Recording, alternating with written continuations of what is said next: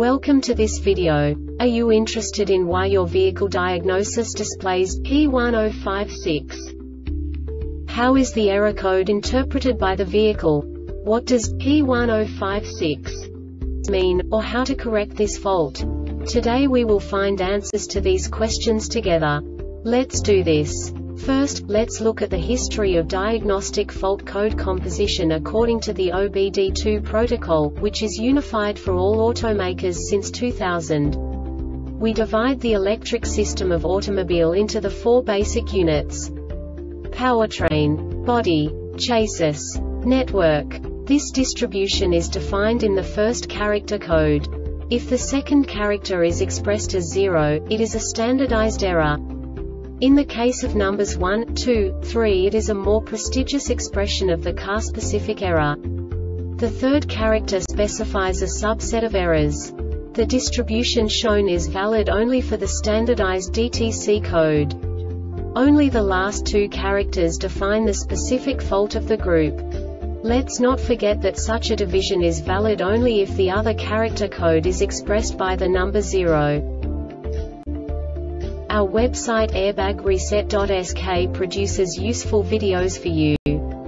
You do not have to go through the OBD2 protocol anymore to know how to troubleshoot any car breakdown. You will find all the diagnostic codes that can be diagnosed in a Jeep vehicles. Also many other useful things. The following demonstration will help you look into the world of software for car control units. You unbelievably can move the video a bit further. The error code is split into two bytes consisting of 16 bits. One bit is the basic unit that each computer works with. The bit has two logical states. 0, low level, 1, high level. By combining the first two bits, the basic character of the error code is expressed. The next two beats again determine the second character. The last beat styles of the first byte define the third character of the code. The second byte is composed of a combination of 8 bits. The first 4 bits determine the fourth character of the code.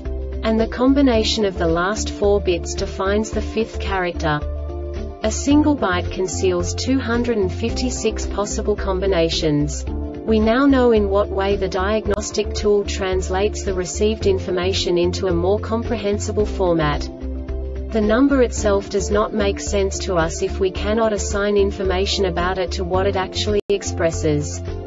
So, what does the diagnostic trouble code P1056 interpret specifically Jeep car manufacturers? The basic definition is WSMP Windows Smart Motor Passenger Feedback Component or System Operation Obstructed or Blocked. And now this is a short description of this DTC code.